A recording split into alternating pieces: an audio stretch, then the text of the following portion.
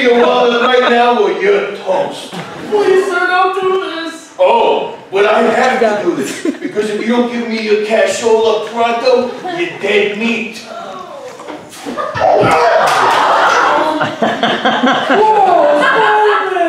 The one and only. Hey, here's a tip. Don't go hanging around in alleyways. That one's for free. Courtesy of your friendly neighborhood Spider-Man. Oh, thank you, Spider-Man. Oh. what are you doing?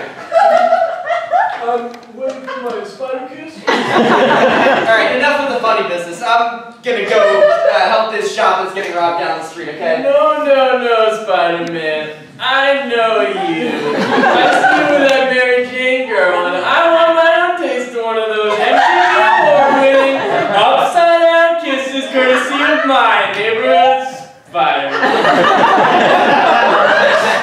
Oh, you know what? I'm actually fresh out of web cartridges, so gonna have to take a rain check on that spider kiss. You can't trick me, Spider-Man. Too smart for you. I know you keep extra fluid in your utility belt. I can see him bulging through. You know, I normally have a policy of not being mean to civilians, but I'm not gonna kiss you because you seem really gross and you keep insisting on this. Also, my spidey senses are telling me you have an STI. It's all right, man. I wouldn't take it too hard. I wouldn't want to kiss that spider freak anyway.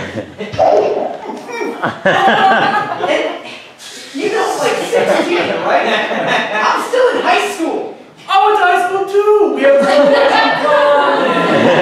Listen, Spider-Man. I know you're going through some hard times right now, but Gwen Stacy's dead. And I'm right here. And I can give you everything you need. So pucker up and upside down lay one on me. Rip! Spider-Man! Ouch! What's going on?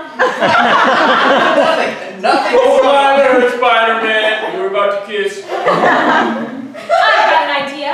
Kiss this man or I'm going to have a cave in and claw his eyes out.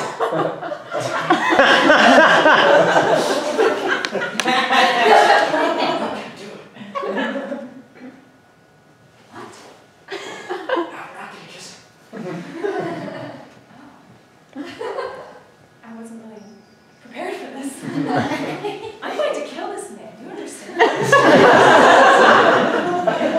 Alright, fine. I'll do it, but um, just gonna do it through the mask and I'm not going upside down. No, no, just kill me. I want the upside down. Alright. Oh, again, I wasn't really prepared for this. I'm just an anti-hero. I'm not a full-on villain. Well, do you want to give me upside down kissing? You know what? No.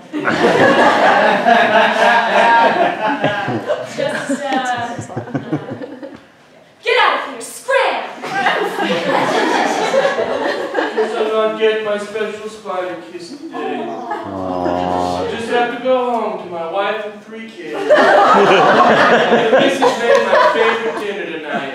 I'm pretty blessed. You have a wife and children? You know, just, just get out of here. I feel kind of